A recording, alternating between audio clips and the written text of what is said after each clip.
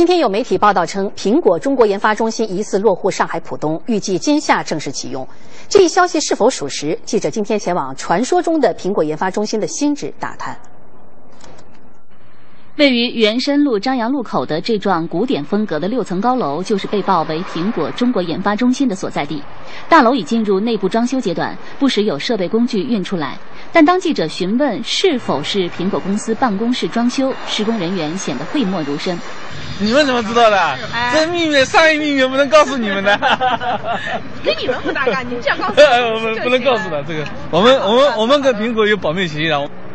而记者从相关部门获悉，这三幢楼为苹果公司租赁使用，分别用作财务中心、运营中心和呼叫中心，而非此前所传的研发中心。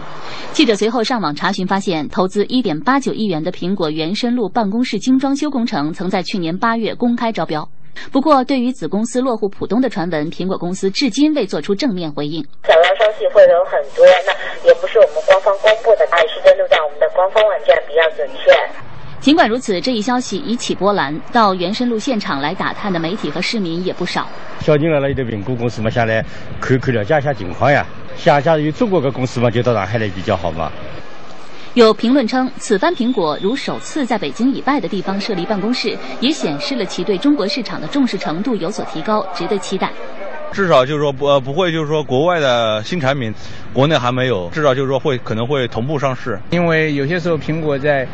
呃，售后方面有些时候有总会有一点问题。如果他们有住办事处在这儿有问题，都可以直接去向他们维权。记者谢丹青报道。